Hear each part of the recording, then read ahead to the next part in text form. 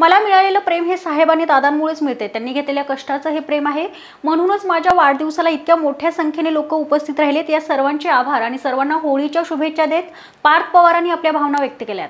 नेहमी निवडणुकांच्या वेळी पक्ष बदलणाऱ्या दिसतातच. निवडणुकांच्या एक महिन्यापूर्वी हे घडतंच.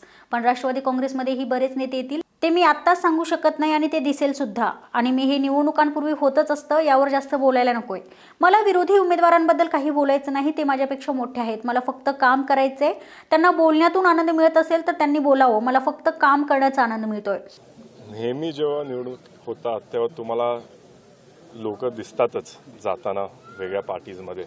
आणि हे ते एक महिन्याआधी इलेक्शनचं होतंच. तुम्ही सगळे निवडणूक बघता. पण तुम्ही पण आता बघणार की आपल्या पक्षामध्ये लोक थोडे येतील. मी काय सांगू नाही शकत. तुम्हाला ते दिसणारच आता. पण ते होत असतं निवडणूकमध्ये. तर त्याच्यामध्ये काय जास्त बोलायला नाही पाहिजे. एक महत्वाचं आहे की श्रंग बारणे जे आहेत ते संभाव्य उमेदवार असतील. पण ते तेव्हा म्हटले होते की कोण पार्थ पवार? आता ही सगळी गर्दी त्यांना उत्तर आहे. नाही, मी मला काय त्याच्यावरती बोलायचं नाही कारण ते माझ्यापेक्षा मोठे आहेत. मला फक्त काम करायचं आहे बस. त्यांना त्याच्यावरनं म्हणजे आनंद मिळतो बोलायला मग त्यांना मिळू दे आनंद. आपल्याला फक्त काम करायचा आनंद मिळतोय.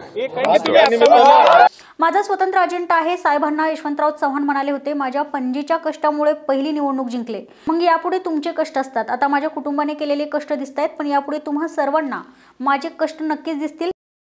नाही रोडमॅप आहेच ना. जसं साहेबांना पण सांगितलेलं होतं यशवंतराव चव्हाणांनी की त्यांची पहिली इलेक्शन जी होती ती माझ्या आजी म्हणजे पणजीमुळे ते जिंकले तर त्यांच्या कष्टामुळे त्यांना ते मिळालं. आणि मग ह्याच्यापुढे तुमचे कष्ट असतात. तर हे जे मला काय मिळते ते माझ्या आजोबांमुळे दा- आत्यांमुळे दादांमुळे मिळाले आणि त्याच्यापुढे माझे कष्ट असतील ते तुम्हाला दिसणार.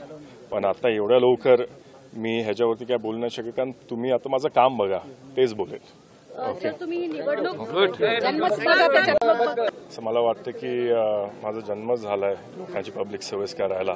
तर I think I am a public servant now and have to serve the people तर तेवढंच मला वाटतं. पार्थ पवार यांचा वाढदिवस पिंपरी चिंचवडमधील कार्यकर्त्यांनी साजरा केला.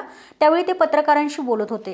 हे प्रेम साहेबांच्या आणि दादांच्या कृपामुळेच मला मिळतंय आणि आत्यांच्या कृपामुळे. आणि हे प्रेम मला मिळतंय ते त्यांच्या कष्टामुळे आणि जे पक्षाच्या लोकांनी काय पिंपरी चिंचवडमध्ये केलंय त्याच्यामुळेच मिळतोय. तर मी सगळ्यांचा आभार मानतो की तुम्ही सगळे माझ्या वाढदिवसाला इथं आला आणि आज होळी पण आहे. तर तुम्हाला सगळ्यांना होळीचे हार्दिक शुभेच्छा and wish you a very happy Holi.